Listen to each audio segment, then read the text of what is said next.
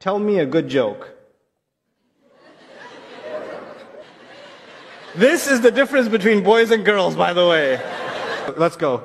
Why did the bee get married? Why did the bee get married? I don't know. Why did the bee get married? Because he found his new honey. Oh!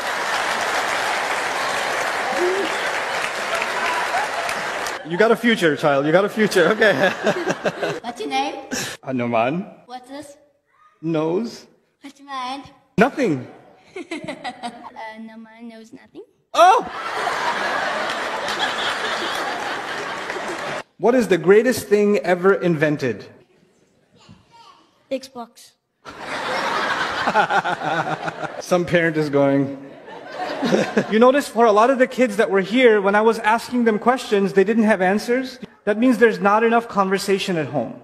That we don't actually engage our children as much and they don't articulate themselves very much. And a lot of times our children speak to us and we give them one word answers. Wow, wow, look at this, look at this, look at this. And we're like, mm-hmm, yeah, okay, that's great. But no real conversation. Fluff. You can actually spend your entire childhood just asking the same questions. Did you eat? Did you finish your homework? Yes, no, yes, no, yes, no, yes, no, yes, no. Instead, learn to ask questions that maybe they'll give you more.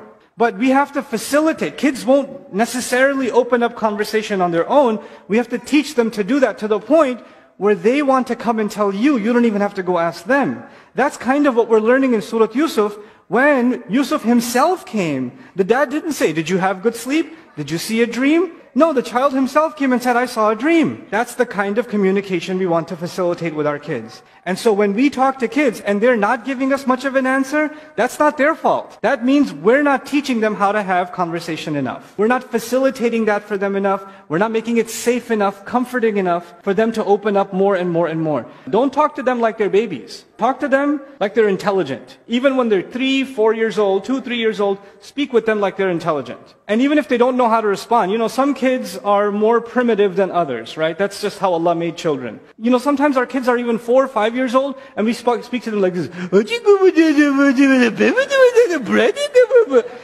That's how they think normal speech works now. So even when they talk to you like, that's not because they talk like that, because they think that's how you talk. So they're talking to you in your language.